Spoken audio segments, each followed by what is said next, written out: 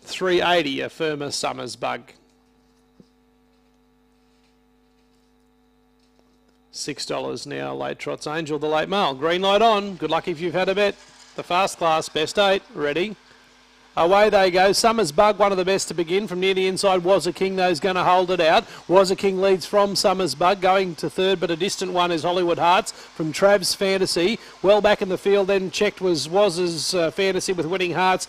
Late Trots Angel going past it, but around the bend for home, it's a race in two. Was a King from Summers Bug, who's going to make it interesting. Was a King hangs on by three quarters to Summers Bug. Camera for third. I think maybe Hollywood Hearts will give it two ahead of Travis Fantasy. They've finished clear then of Late Trots Angel in company with Country Charm.